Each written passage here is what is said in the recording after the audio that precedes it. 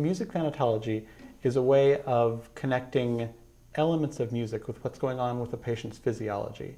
So that, for example, the pace of their breath tells me something about the pacing of the music that I might want to use. The result is a quiet and meditative um, environment created that is really tailored to what's going on physically for the patient. And that changes moment by moment. And that's why we bring a live musician uh, to the setting.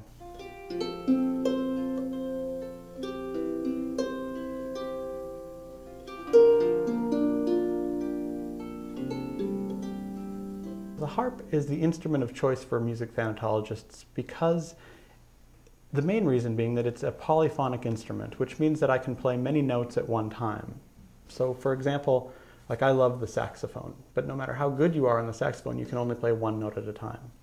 On the harp, I can play chords and a melody and a counter melody, and I can sing all at the same time.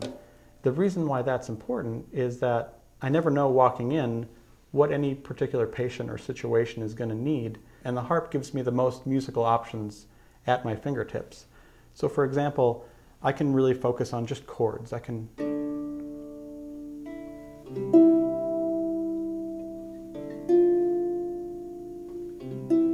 maybe a situation requires more melodic movement and I can add that.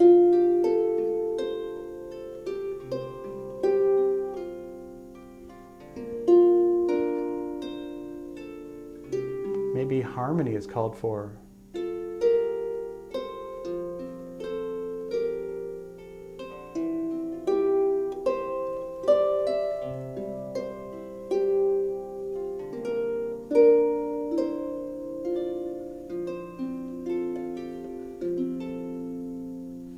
So the training to become a music thanatologist uh, touches on several different factors that are important as we're caring for patients.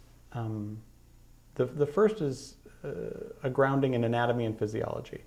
So I often find myself telling people that going to music thanatology school was a, a bit like music school and medical school tied together. So I need to have an understanding of what's going on uh, with the different body systems and then even how those systems are changing as diseases are progressing. The second thing I need is musical facility on the harp um, with my voice, um, in, and also in terms of music theory, how music is built. Um, there's also, an, it's important to understand how people are psychologically dealing with uh, a terminal diagnosis, um, both themselves as patients and then also how family members are dealing with that, whether it's you know, cultural practices or, or spiritual paths that people are on. I need to understand the breadth of um, experience that people might be going through. And then another really important part of it was the maybe internal preparation for me as a, as a practitioner because sometimes I walk into difficult circumstances, whether it's grief or um, pain um, or symptom issues that people are going through. It, as their disease is progressing. And I need to be able to walk into some difficult circumstances and not be overcome emotionally myself and be a useful presence with the music. Um, so that internal preparation is actually a really important part of the music thanatology training. And then I think the final part that I would mention is I found how important it is for me to be able to share my experiences with patients and families because a lot of times people are, are going through um, a process that's new to them. And having done this for many years now, I have seen a lot of the situations in, with other patients, and I can share that experience with patients and families to help them uh, know what to expect as they're moving along in the process.